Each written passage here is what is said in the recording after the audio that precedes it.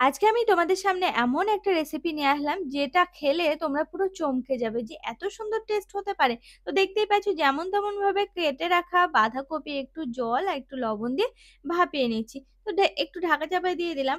এবার একটু ঢাকাটা তুলে নিয়ে দেখো, এই বাঁধাকপির জলটা আমি এখন ফেলে দেব। মোটামুটি ভাপানো হয়ে গেছে। তো কড়াইটা আবারও পরিষ্কার করে নিয়ে চলে এসেছি। তো নিয়ে এসে একটু তেলও দিয়ে দিলাম আর ফোড়নে দিয়ে দিলাম একটু শুকনো লঙ্কা, একটু জিরে। তো চলো, এখন রান্নাটা কি হচ্ছে সেটাই দেখার পেলা। আর এবার দিয়ে দিলাম কিন্তু বেশ কয়েকটা রসুন কুচি। আর দেখেছ রসুন, তারপরে জিরে আর লঙ্কাটা যে হয়ে এসেছে তখনই আমি দিয়ে দিলাম পেঁয়াজ। কুচি করা পেঁয়াজ। আর এদিকে আমি বেশ কিছুটা আদা একটু থেতো করে নিচ্ছি বাটলে কিন্তু হবে না, থেতোই করে নিতে হবে। আর এটা কি বলতো, এটা হচ্ছে মুগ ডাল বেশ কিছুক্ষণ আগে ভেজানো ছিল। তো খোসা সমেত মুগ ডাল। তো সেটাই আমি এখন কড়াইতে দিয়ে দিয়ে সমস্ত কিছুর সাথে একটু নাড়াচাড়া করে নিচ্ছি আর এই যে থেতো করা যে আদা, এবার হচ্ছে সেটার পালা। মানে কড়াইতে সেটা এখন দেবো। তারপরে দিয়ে দিলাম বেশ কয়েকটা কাঁচা লঙ্কা চেরা। এখন সমস্ত কিছু খুব ভালো করে একটু নাড়াচাড়া করে নেব। আর তার সাথে দিয়ে দিচ্ছি একটু লবণ তা বাদে দিয়ে দেবো একটু জিরে গুঁড়ো, তাছাড়া দেব একটু হলুদ।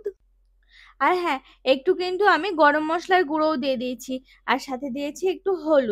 তো দিয়ে সমস্ত কিছু একটু নাড়াচাড়া করে নিলাম। হলুদটা কম হয়েছিল আবার একটু দিয়ে দিলাম। দিয়ে আবারও নাড়াচাড়া করছি। এখন কি হবে না, একটু কষানোর মতো আর কি। এই যে দেখছ না, ভাপানো যে বাঁধাকপি, বাঁধাকপিটা কিন্তু আমি যেমন তেমন ভাবে কেটেছি এরকম ভাবে কাটলেই আর কি হবে। তো দেখো, সেই ভাপানো বাঁধাকপিটা দিয়ে ওই ডালের সাথে খুব ভালো করে মিক্সড করে নেব।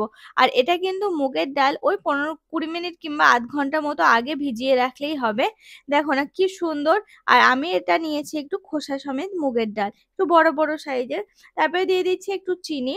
কারণ আমি যে রেসিপিটা বানাচ্ছি, হালকা একটু মিষ্টি মিষ্টি হবে, তার মানে তোমরা হয়তো বুঝে গেছো, এটা হচ্ছে রুটির তরকারি। মানে রুটির সাথে খাওয়ার জন্য যে তরকারিটা বানানো হয় সাধারণত রাত্রেবেলা কিংবা সকালবেলা, তো সেটাই আমি বানাচ্ছি।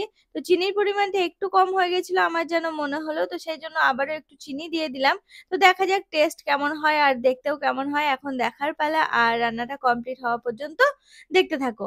তো দেখো, এখন কিন্তু আমাকে দিয়ে দিতে হবে বেশ কিছুটা জল, কারণ ডালটা তো সিদ্ধ করতে হবে। হবে। কপি না হয় সিদ্ধ আছে কিন্তু ডালটা তো সিদ্ধ করতে হবে, তার জন্য দিয়ে দিলাম বেশ কিছুটা জল। এবার জল দিয়ে ঢাকাও দিয়ে দিলাম। চলো এবার দেখায় অন্য কিছু।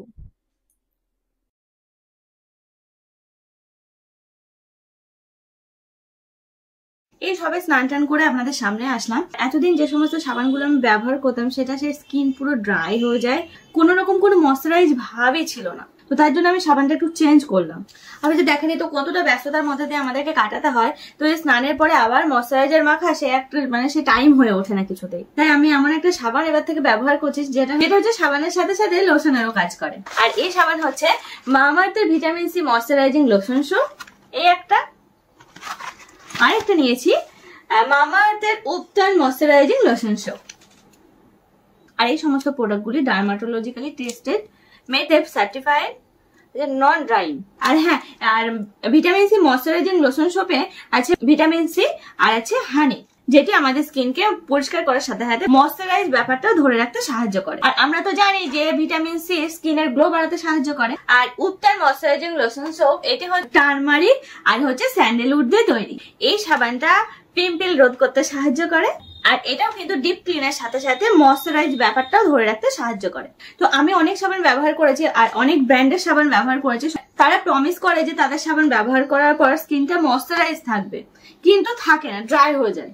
আর সেই সব সাবান ব্যবহার করার পরে আমাদের কিন্তু ময়শ্চারাইজার ব্যবহার করতে হয়। আর এই সাবানগুলো যেমন এটা প্রমিস করে ঠিক সেই রকমের ফলও পাওয়া যায়। মামার্থের সমস্ত প্রোডাক্টই হচ্ছে ন্যাচারাল এবং হার্মফুল কেমিক্যাল ফ্রি আর আপনারা যদি আমার মধ্যে এই প্রোডাক্টটি কিনতে চান তাহলে স্ক্রিনে দেওয়া কুপন কোডটি ব্যবহার করুন এবং মামার্থ ডট ইন থেকে পারচেস করলে টোয়েন্টি পার্সেন্ট ডিসকাউন্ট পেয়ে যাবেন। মামার্থের সমস্ত প্রোডাক্টে কিন্তু মামার্থের ওয়েবসাইট মামার্থের অ্যাপ তাছাড়াও অ্যামাজন ফ্লিপকার্ট পার্পেল নাইকা এই সমস্ত জায়গায় কিন্তু আপনারা মামা আর্থের প্রোডাক্ট পেয়ে যাবেন। আর মামা আর্থের সমস্ত প্রোডাক্টই কিন্তু অনলাইন ছাড়া অফলাইনে আপনারা পেয়ে যাবেন। আর আপনার বাড়ির আশেপাশে যে কোনো শপে হোক, যেখানে হোক আপনারা যদি মামা আর্থের প্রোডাক্ট দেখে থাকেন, তাহলে কিন্তু আমাকে কমেন্টের মাধ্যমে জানাতে ভুলবেন না। তো দেখি তো এবার কতদূর কি হলো, দেখলেই বোঝা যাবে। দেখো এখনও ফুটছে। এখন দেখি যে ডালটা ঠিকঠাক ভাবে সিদ্ধ হয়েছে কি। একটু নাড়াচাড়া করলেই বোঝা যাবে।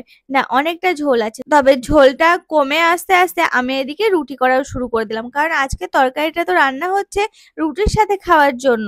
অনেকটা কিন্তু ঝোল কমে এসেছে আর এই অবস্থাতে আমি এখন কি দেব? শুধু কিন্তু তরকারিটা এইভাবে রাখলে হবে না। এইভাবে রাখলে কিন্তু তোমরা সেই টেস্টটা কিন্তু পাবে না। যেটার কথা আমি বলছিলাম, একটা চমকদার টেস্ট তো এই দেখো, এখন কিন্তু আমি দিয়ে দিলাম ফ্রেশ ক্রিম আর ক্রিমের পরিমাণটা বেশ কিছুটা বেশি বেশি দিচ্ছি, আর যেহেতু একটু গ্রেভি গ্রেভি রাখব, তো তার জন্য একটু কিন্তু ঝোল ঝোল রয়েছে, দেখেছ? আর এখন আমি ক্রিমটা দিয়ে খুব ভালো করে মিশিয়ে নিলাম পুরো তরকারিটার সাথে। হয়ে গেল রেডি রুটির সাথে খাওয়ার জন্য আর কিচ্ছু না। ফ্লেমটা কিন্তু আগে বন্ধ করে দিয়েছিলাম ক্রিমটা দেওয়ার আগে। তো চলো, আজকের এই রেসিপিটা এই পর্যন্ত থাকছে। তোমাদের কেমন লাগল অবশ্যই কিন্তু জানিও। আর বাড়িতে অবশ্যই একবার ট্রাই করে আমাকে জানিও।